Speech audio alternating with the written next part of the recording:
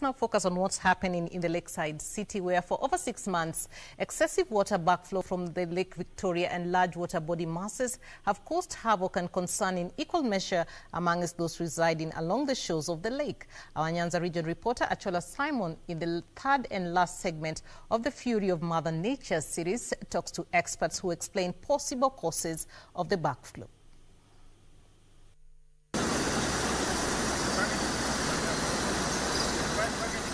At the height of the long rains early this year,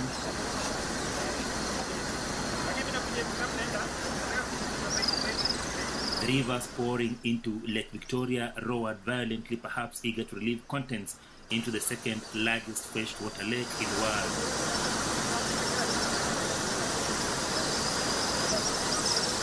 With the violent velocity, the rushing waters destroyed everything on their path the brown muddy color of the water sweeping down the rivers, probably an indication of what the vegetation cover upstream in the catchment areas looked like.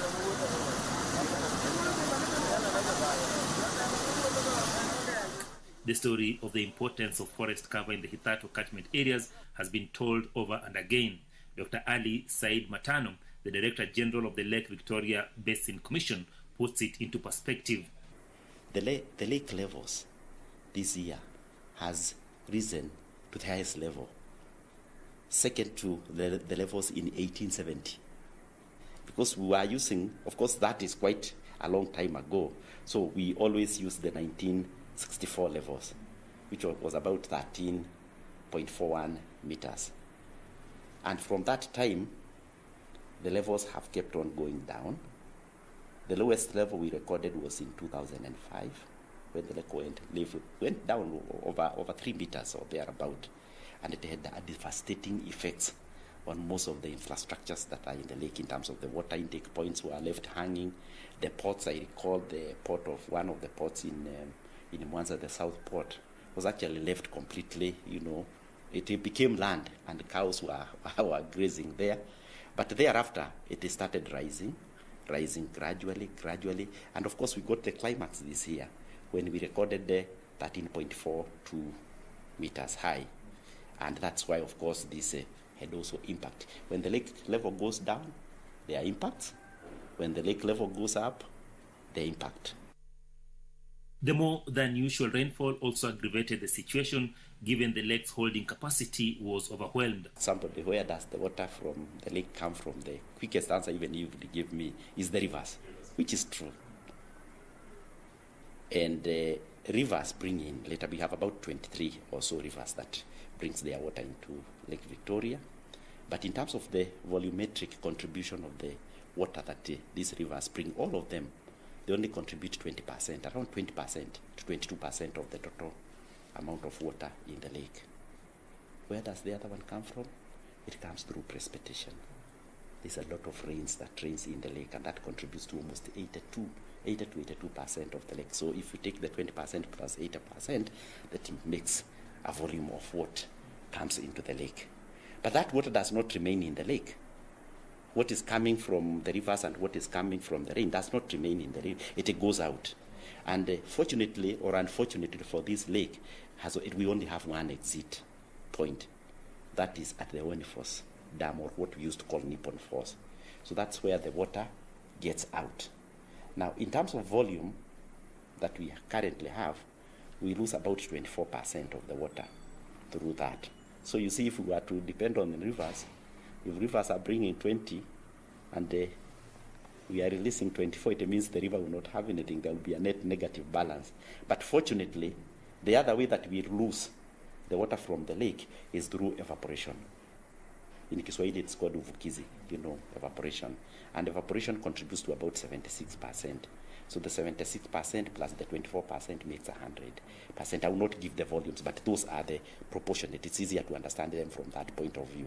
So we get precipitation, I mean, we get uh, water coming from the rivers, and then we get from precipitation 80%, then we lose 76% through evaporation, and we lose about 24%, and then the balance is what remains in the lake. Now, given that small dynamics, two factors come out related to what you have said. It is apparent that uh, a lot of water in the lake is precipitation related. So if there is any additional in the rainfall, it means now it goes beyond 80% and it goes way ahead. So we have more water in the lake than can come out from, and then that can, and of course you know when it is raining, the evaporation rate is also lower. You get it? You can't almost have the same. The discourse has revolved around having dams upstream to collect excess water, but experts opine that is a short-term solution that should be backed up by other long-term interventions. If you have vegetation in a catchment area and uh, we have rains, essentially what happens is that uh, the forests have so, sort of like a sponge down there. So when it rains, there's very little runoff that goes out. So that water is absorbed, it's like a sponge. It is absorbed by that spongy condition and it recharges what we call the underground aquifer. Under underground aquifers, you know, for a layman, you can call them underground dams. So that water goes down and it does not go as runoffs. Now, what happened if the recharge of the aquifer is, uh, is recharged? Now, this aquifer recharges its water through springs. You have heard us talking about spring. You see, the water coming from the spring is normally very clean. And then it gets into the river, another spring, another spring, and the river forms, and the water flows. And since the recharge is full, then the water can flow in a regulated way. From January kuna maji there is water, there is water, because it's coming from an underground aquifer which is regulated. The opposite of that, if you remove vegetation, you go and clear the vegetation from a catchment area. Essentially, what happens, the rate of the water that goes as sponge is reduced because the sponge is not there. So what falls on, it falls on a, almost a plain ground, and it runs, goes as runoff. So within two, three minutes, the river is full. And if there is a bridge in Apitaju, when the rain ends, and that's why you see, if for we people who have traveled, you find in most cases where bridges are being constructed, the old bridge is normally lower than the new bridge. Had a lot of uh, uh, sand or sediments actually deposited in the riverbed.